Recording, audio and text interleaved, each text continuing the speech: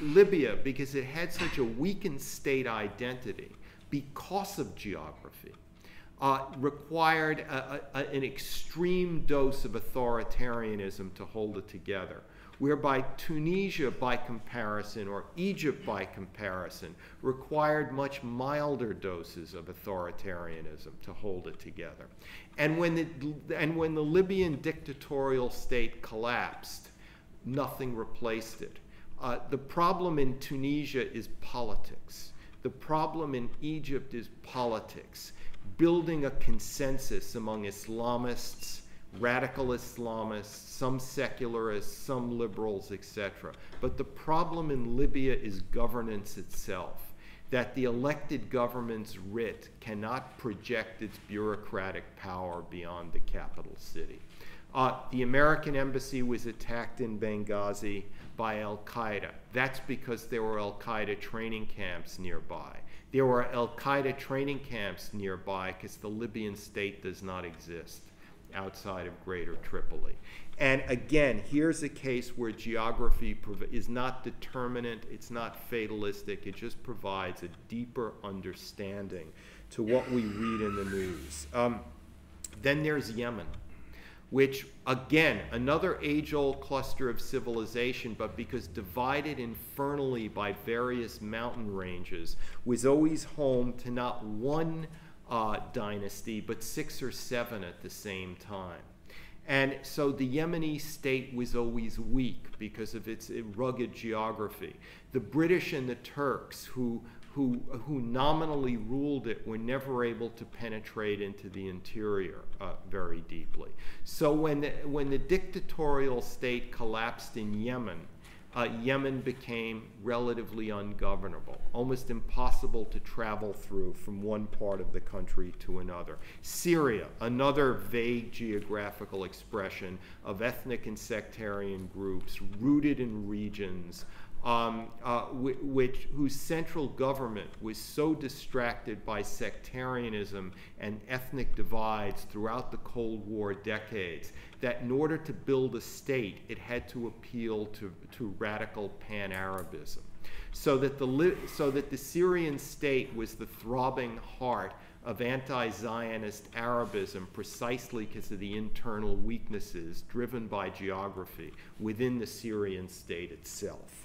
Um, in other words, um, it's not just who you are, it's where you live that helps determine your, uh, you know, your political personality. I write in the book that even more than the system of government, it's a country's place on a map that helps define it. Look at my country, the United States. Americans believe they're special people, they're exceptional people. But on the other hand, America just happened to be the last resource rich part of the temperate zone. Uh, that was uh, that was settled by Europeans at the time of the Enlightenment. America is also a place rich in natural resources, that has more inland waterways flowing in a convenient east-west uh, uh, uh, east-west direction than all the waterways in the rest of the world combined. So that it was a vast continent protected by oceans and by the Canadian Arctic to the north that nevertheless was easy to connect within inside itself because of these internal waterways, the Missouri and Mississippi river systems. Uh, so that America's only real threat is with Mexican demography to the south, which I'll mention a little bit later on. So these things too made America an exceptional country um, in, in the 20th century. Take Europe you read about Europe, and all you read about is debt ratios and you know it's on the economics pages. If you don't know about spreadsheets and, and this and that. You can't fathom what the heck is going on in Europe. Uh, between the Portuguese debt crisis and the Greek debt crisis and this, well, a lot of it is rooted in geography.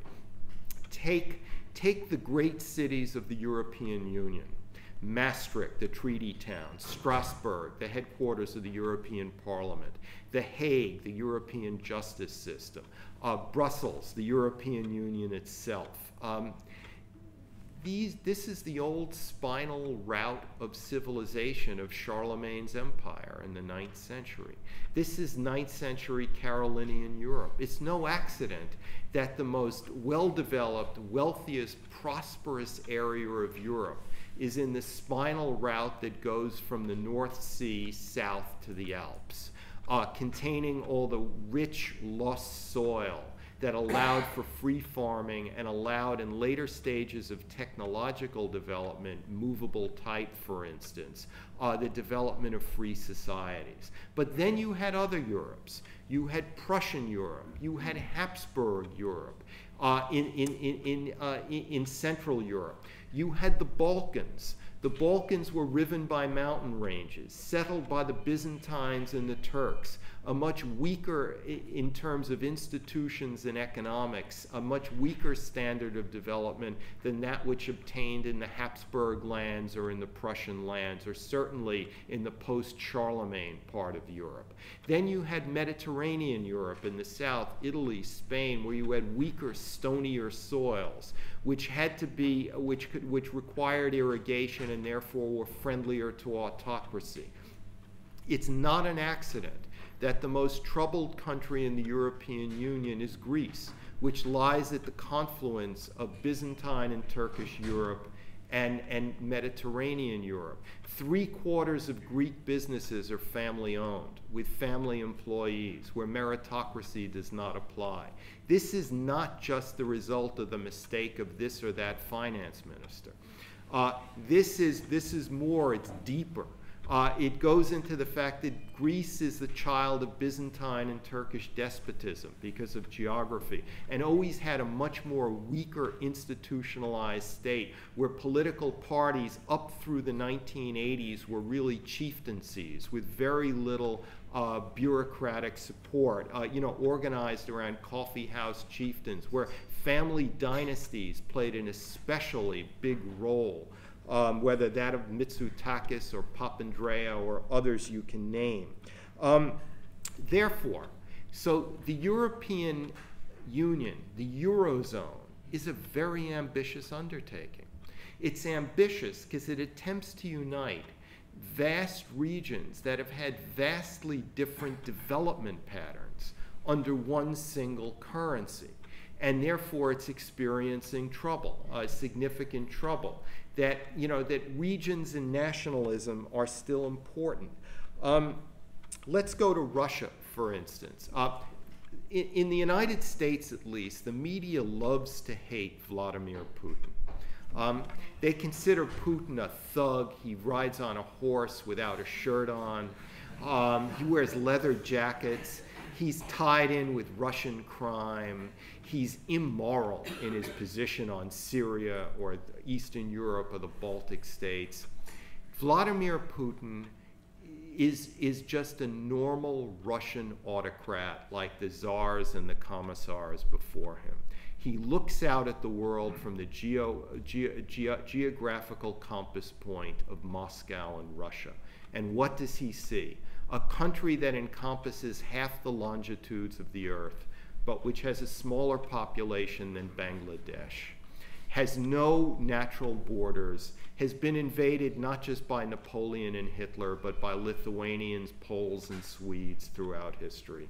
And therefore, he requires a buffer zone in Eastern Europe. So while the Warsaw Pact may have collapsed, he will do everything in his power from establishing crime groups to helping fix elections, uh, to manipulating prices of natural gas and the building of pipelines to reestablish some sort of buffer zone in the Warsaw Pact countries. The same goes with the Caucasus, where he needs a buffer zone to protect Russia from the chaos of the Middle East. He requires more bandwidth in former Soviet Central Asia, again, because he's afraid of Muslim fundamentalism there. Uh, Putin's geography is the same of that of any Democrat who may succeed him in future years or decades. The West seems angry at him because guess what? He's not a Westerner, he's Russian. Um, um, And because he's Russian, he has a specific geographical focus, which by definition is going to bring him into conflict with the West and other places that have different geographical focuses. Um, let's look at China for a moment. China has both a positive geography and a negative claustrophobic geography. Its positive geography is here's 1.3 billion people, with 100 million people alone up tucked in the northwest in Manchuria. Though just over the border in the Russian Far East, where there's so much timber, diamonds, and gold and uranium, there's only 7 million people, and the population is declining to 5 million. So China has great possibilities to expand its corporation, its corporate, its corporate control, its its population into the Russian Far East. Uh, China is, um, it, you know, is building oil and natural gas pipelines throughout former Soviet Central Asia. It's building railroads throughout former Soviet Central Asia. It's mining for copper in Afghanistan.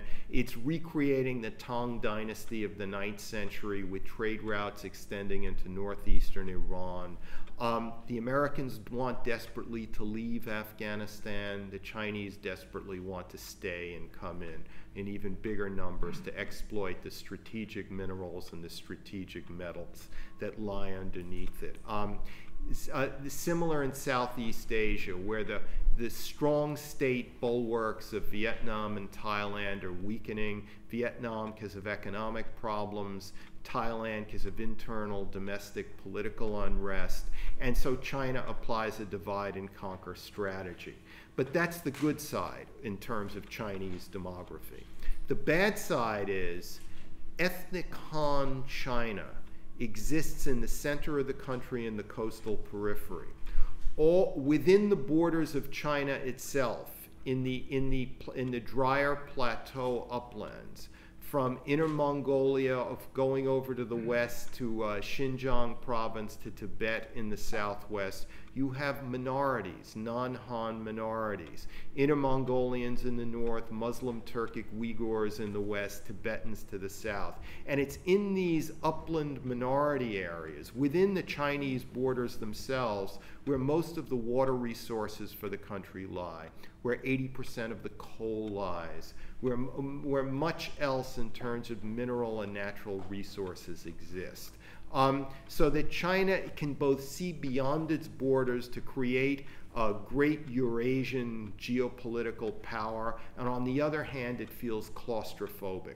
Because any political opening in China, any liberalization that must take place eventually, is going to lead also in terms of this, in, in addition to the striving for individual rights, it's going to lead to the striving for ethnic minority rights and identity. And so while China sees itself dominating the former Soviet Central Asia and the Russian Far East, it sees itself losing Tibet at the same time to some sort of autonomy. So it's this geographical tension which will drive the destiny of China in the years and decades ahead. ahead. And remember, China, as you know, is building a great navy and air force. It's contesting territory, territory in the maritime periphery in the South China Sea and the East Sea. But what allows China ultimately to go to sea in the manner that it has is because its land borders have been relatively more secure in recent decades than at any point in Chinese history going back to the High Qing dynasty at the beginning of the 19th century. And if these land borders become more unstable because there's minority unrest in a liberalizing China, that may impinge on the Chinese leadership's ability to press its claims in, in, in the Western Pacific, in the maritime sphere. Um, a, wor- a word about India. Uh, America, Australia can leave Afghanistan, wash their hands of it. India can never leave because Afghanistan is part of the Indian subcontinent. Uh, if you go back to all the dynasties in Indian history, uh, Mauryan, Nanda, Gupta, Mughal, etc., uh, what you'll find is that New Delhi controlled most of Afghanistan, all of what is today Pakistan, and the northern third of what is today India, the Ganges River Valley. So a non a, a, a, a non pro-Pakistani, non anti-Indian Afghanistan is something the Indians require. And as the U.S. leaves uh, Afghanistan and the U.S. becomes less and less relevant to the political bargaining in Afghanistan, you will see India draw closer to Russia. Uh, and, and try to stabilize its relations with China in order to prepare for a post American, um, post NATO, post ally Afghanistan. Um, Iran. Iran, the, the Iranian state may, may uh, undergo upheaval uh, its economy may collapse. Uh, anything is possible except for one thing the end of an Iranian state. There will always be a an, uh, an Iranian state because the Iranian state is synonymous with the Iranian plateau. The Saudi state is not synonymous with the, with the Arabian Peninsula. Syria is not synonymous with anything, uh, the Syrian state. The Libyan state doesn't exist. There will always be an Iran for the West to deal with. And because there will always be an Iran to deal with, with great cultural bandwidth, that extends from the Mediterranean to Bangladesh. Remember, Persia, uh, Persian language was the official language of India up until 1835. Um, because of that, the United States and Iran are destined to have a rapprochement at some point in the future. The U.S. has been estranged from Iran for 33 years, a third of a century. That's, uh, that's 10 years longer than it was estranged from quote unquote Red China. Um, so some sort of accommodation must lie in the future because Iran is eternal because of geography in a way that many Arab states are not. Uh, finally, let me deal with my own country, the United States, in a minute or two. Why did the United States become a great power? It became a great power because it came to dominate the greater Caribbean. Um, the New World is not divided between North and South America. It's divided between north of the Amazonian jungle and south of the Amazonian jungle. That's the real impenetrable barrier because ships could go back and forth throughout the Caribbean. Uh, Venezuela, Colombia, the Guyanas may technically lie in South America, but their whole demography and population is oriented towards the Caribbean. Um, so by gaining control of the greater Caribbean basin from European powers in the late 19th century, the United States came to dominate the Western Hemisphere. And by coming to dominate the Western Hemisphere, it had power to spare to affect the balance of power in the Eastern Hemisphere. And that gave us the history of the 20th century. America being the pivotal power in two world wars and the Cold War after in the Eastern Hemisphere. Um, now, so as I said, America's only threat at the moment, geographical, is Mexico to the south. Mexico has a younger population, it's growing faster. Mexico is going to be one of the world's 12 largest economies pretty soon. Much of Mexico is also controlled by drug cartels at the same time. Uh, Latin history is demographically moving north. Uh, the, the kind of state that ultimately emerges in Mexico over the next 20 or 30 years will have a greater impact on the nature of American society than anything that happens in Iraq or Afghanistan or many other places. Um, and China, as it happens, sees the South China Sea as their Caribbean.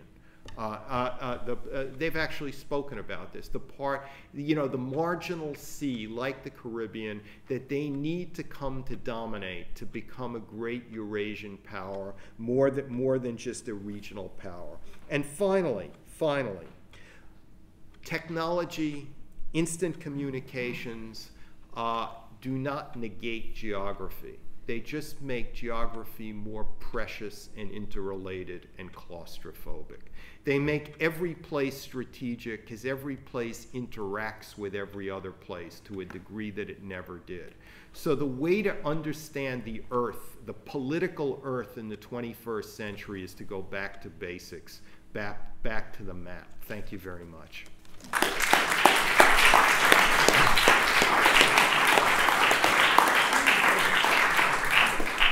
Robert, thank you. That was uh, dizzyingly expansive. Uh, I, don't know where to start, but I'm sure there'll be plenty of questions. Um, can I ask you to wait for the microphone, uh, give us your name, and make sure your question is short, because I'm sure there'll be lots of interest. Up the back to start with. Thanks very much. Hi, Robert. The communication was far too brief. I would love to spend five hours chatting with you, uh, just asking a random question. You don't feel that the withdrawal of the states from Afghanistan, etc., and the instability there will, will reignite uh, Um, look, everyone has been writing about how Afghanistan's going to fall into chaos once the US, the Australians, the Brits, and the others leave. Uh, they've been writing that the US Marines are very well, and are fine and impressive in creating townships throughout southern Afghanistan, but they're not townships, they're moon colonies. That'll disappear the moment that the Marines leave. Um, I'm not so sure. The reason I'm not so sure is that the Taliban now have calculators that have a lot of zeros on them. And they can see how much money they're likely to make from mineral exploitation. And the very fact that, so, that the Chinese and others want into Afghanistan to exploit the mineral wealth provides a basis for an, for, for, for, for an accommodation, uh, a, a compromise of sorts between the various Afghan factions, between Pakistan, etc., to allow enough stability to allow for the exploitation of these minerals.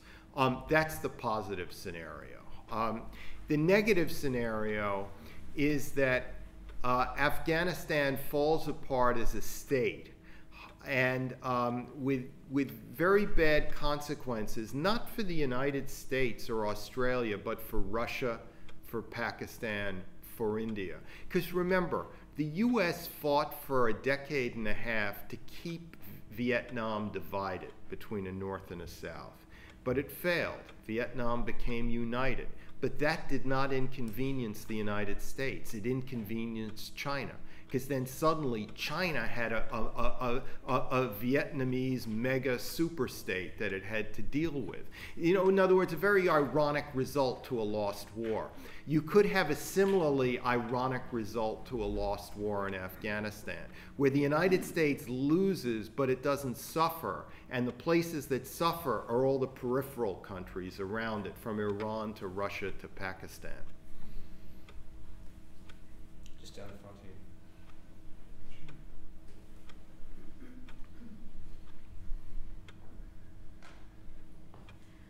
If I understood you said that Iran will uh, America will have to come to some sort of, you know, uh, compromise um, with Iran. So I'm um, interested in your views on um, the Iranians getting nuclear power, um, what America might do, what Israel might do if they do see Iran as a long uh, There are increasing indications that the Iranians are suffering severely from economic sanctions, that it's destabilizing the regime and that the regime has openly talked about an accommodation with the West on uranium enrichment, uh, which might happen after the U.S. presidential election when it's clear who the Iranians will have to deal with. Um, so I'm not given up. I haven't given up on the possibility of a peaceful arrangement that you know that avoids even a reason to attack Iran. Um, I think that what really frightens the Israelis and the Americans regarding a nuclear Iran is not the, the fact that Iran may actually drop a, a nuclear weapon on Tel Aviv, because uh, that would lead to the end of the Iranian government uh, because of retaliation.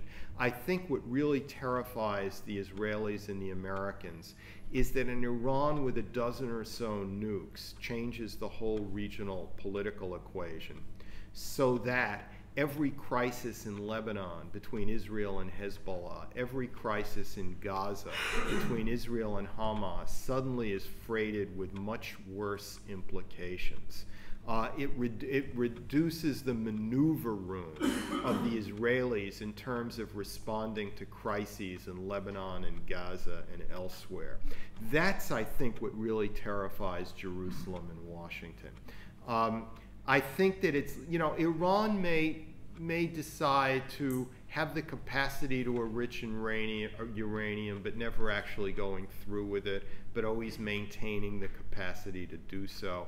It may, it may opt for having all the requirements for weaponization, but never actually going through with it, so as to gain the political prestige of having a nuclear capability without incurring a, a, um, a, a military strike against it.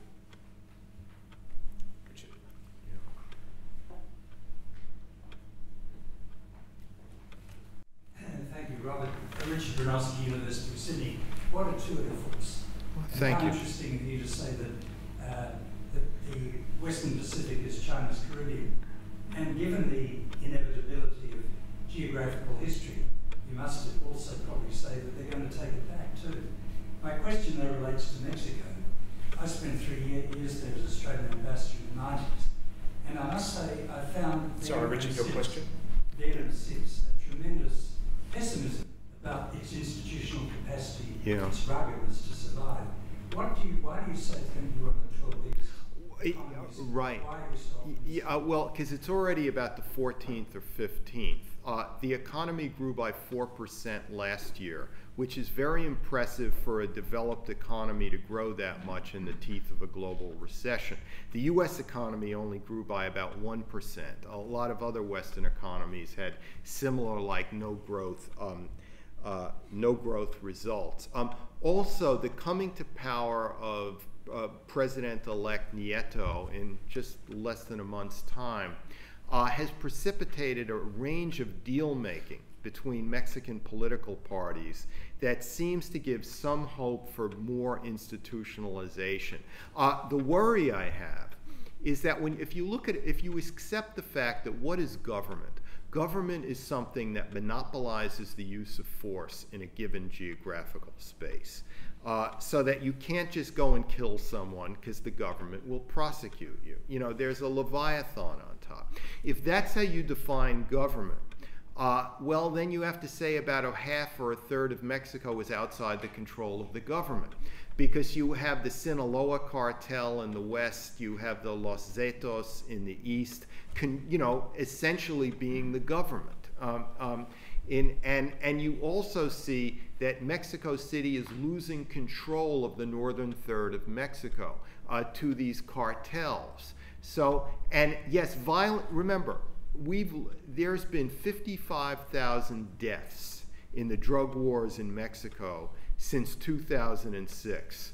Think of that. Uh, you know, that's not as great as Iraq after the U.S. invaded, but it's twice as much as Syria, almost three times as much as Syria.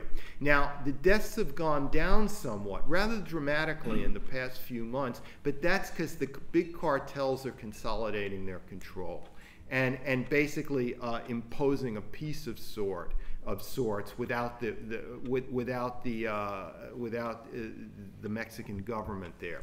So it's not that I'm optimistic. It's that I see different trends going in different directions in Mexico, and I'm not sure how it's going to eventually turn out. Right down. There are some people here. Too. Yeah. Okay. Yeah.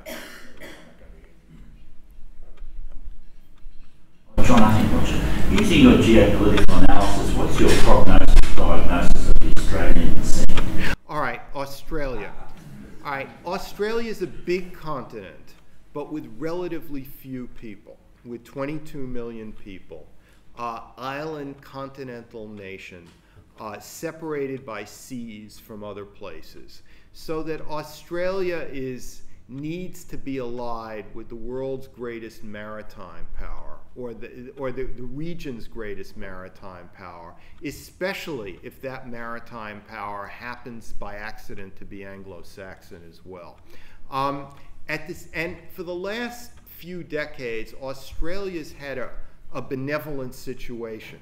It's had a rising Chinese economy, which makes Australia richer because Australia trades with China um, especially the Perth region, etc.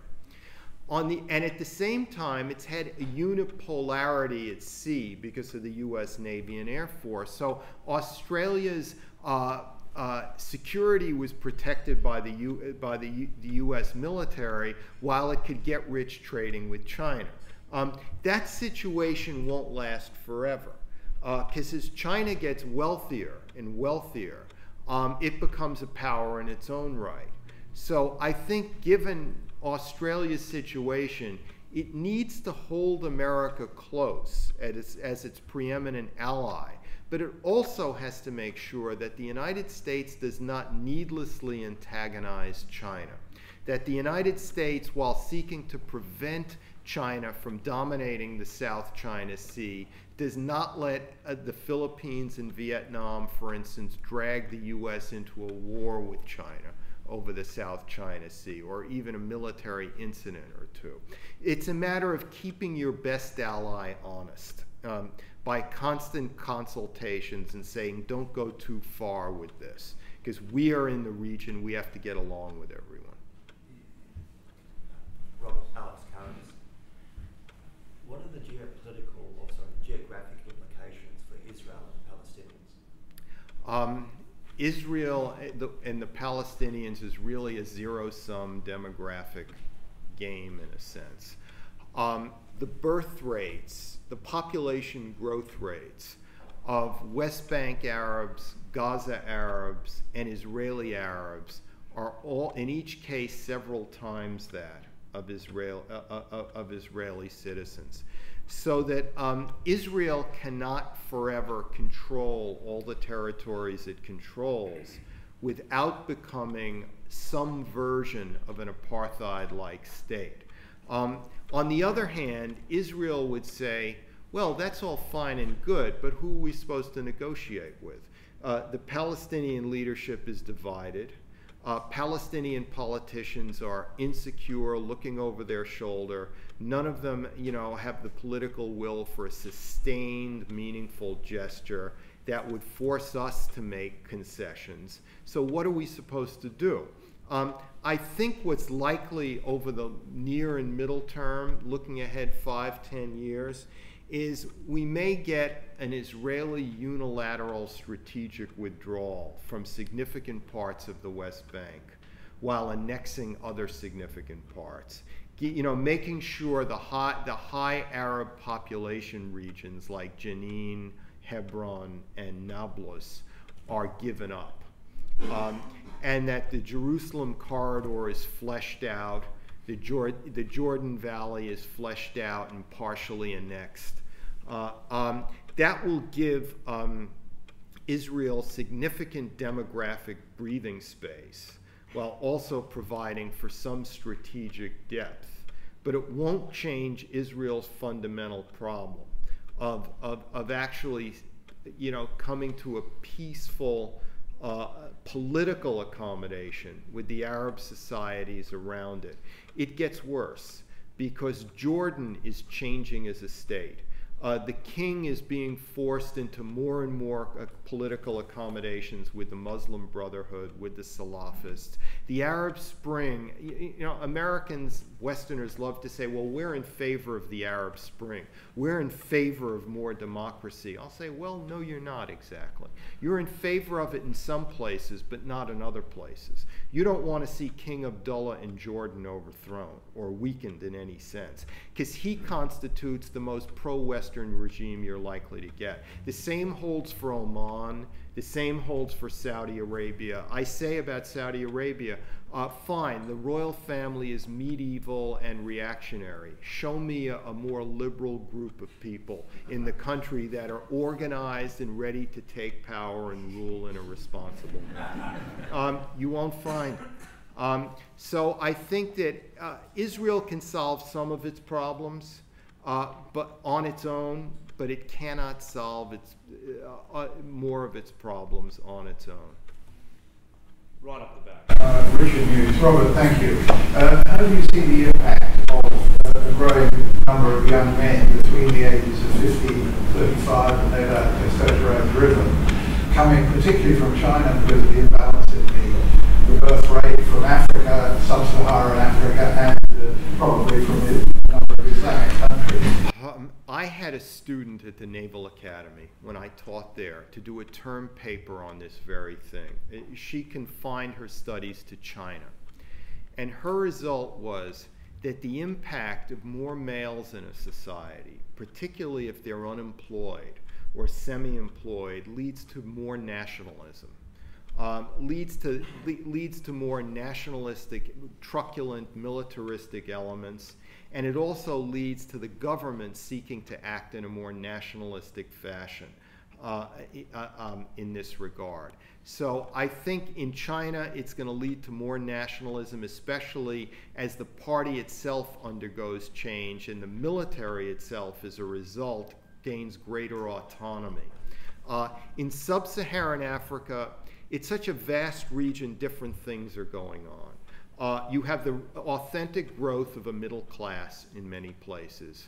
You also have the weakening of states like Nigeria uh, in other places, uh, uh, you know, upheaval in Mali and other places.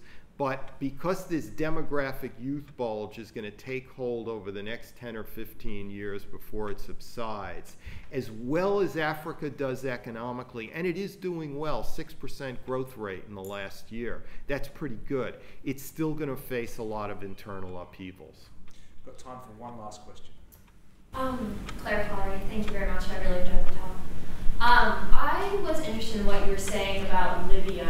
Um, how would you, like, if you could redraw it, what would you do with that situation? You can't redraw the map. I- I yeah, yeah, yeah. Oh, you mean the you mean the the the uh, the military action to No, topple the regime? Like, if you have, if you have an area stuck between Tunisia and Egypt, Yeah.